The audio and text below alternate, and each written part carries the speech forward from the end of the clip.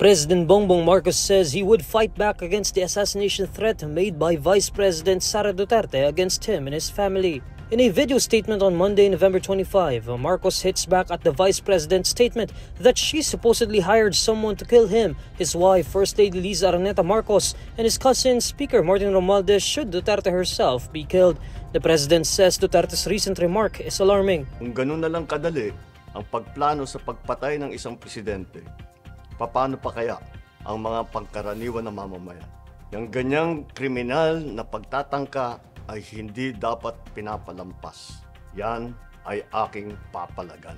According to Marcos, the so-called drama would not have escalated to this point if Duterte faced the House of Representatives, which is currently investigating the alleged misuse of confidential funds in the Office of the Vice President and the Department of Education. Ang katotohanan ay hindi dapat itokhang. Tapos na sana ang usapang ito kung tuto pa rin lamang ang sinumpaang panata na bilang lingkod bayan ay magsabi ng totoo at hindi hahadlangan.